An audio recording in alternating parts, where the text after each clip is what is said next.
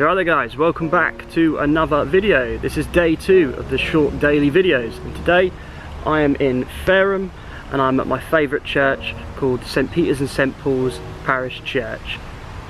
Not only is it my favourite church and graveyard, but it's also where my mum and dad got married. Let's have a look around.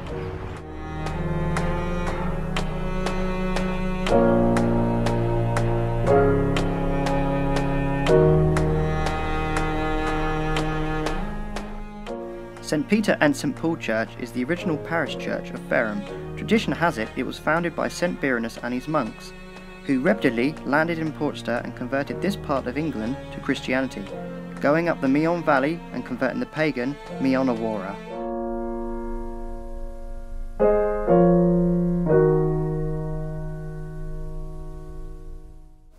Christians have worshipped in this church for over a thousand years, the original chancel now forms the beautiful Lady Chapel. Over the generations, the building has been added to and restored.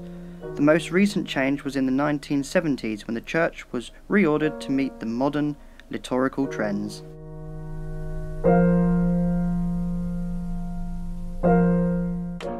There is a modern, well-maintained parish hall built on the east end of the church, assessed via the original choir vestry.